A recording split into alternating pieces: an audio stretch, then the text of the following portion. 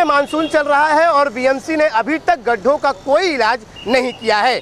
लगातार जगह जगह पर समाज सेविक जो है वो अपने हाथों से गड्ढा भर रहे हैं और साथ में ही गणेश चतुर्थी भी आने वाली है तो पता नहीं गणेश भगवान किस रास्ते से आएँगे।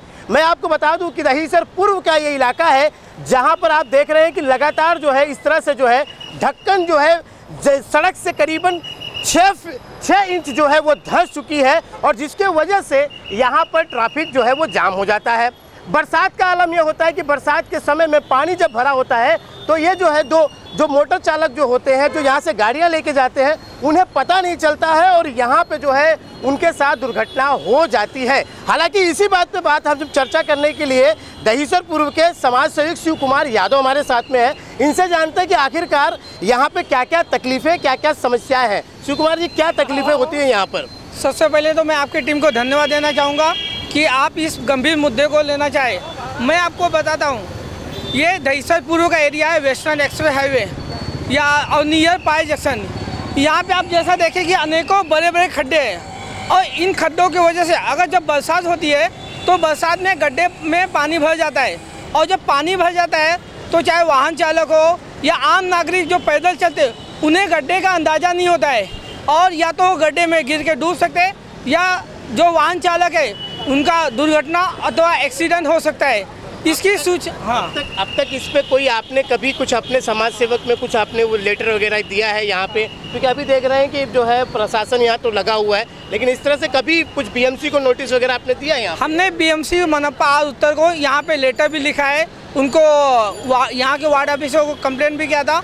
एमएमआरडीओ को भी मैसेज दिया। आपली सरकार में वहाँ पे भी इसके बारे में शिकायत की थी। यहाँ की फ़ोटो सब लोग लोड करके उनको बताया गया था। उसके बाद में भी एमएमआरडी आते हैं। लेकिन जिस तरह से काम करना चाहिए, वैसा काम होता नहीं है। और ये होने के बाद बार बार बारिश में यही हाल हो जाता है। और आ- आपको जैसे पता होगा, आने वाले समय में अभी गणपति है। अब अगर ये खड्डे होंगे तो गणेश महाराज कैसे आएँगे हमारे? अगर यहाँ पे जो भी मंडल वाले हैं तो कहीं ना कहीं गणेश भगवान को भी कुछ क्षति हो सकती है इन खड्डों की वजह से। तो मैं आपके माध्यम से जो भी एम है, मनप्पा है उनको यही चेतावनी देना चाहूँगा, उनको ये सूचना देना चाहूँगा कि बहुत जल्द से जल्द इन खड्डों को भरा जाए, जिससे आने वाले राहगीरों को और वाहन चालकों को समस्या ना हो, कोई दुर्घटना ना हो, किसी की जान जोखिम ना जाए। आपने जैसे देखा होगा, पिछले साल डॉक्टर महापुरकर एक खड्डे में, जिसका ढक्कन न लगा होने की वजह से उनकी मृत्यु हो गई।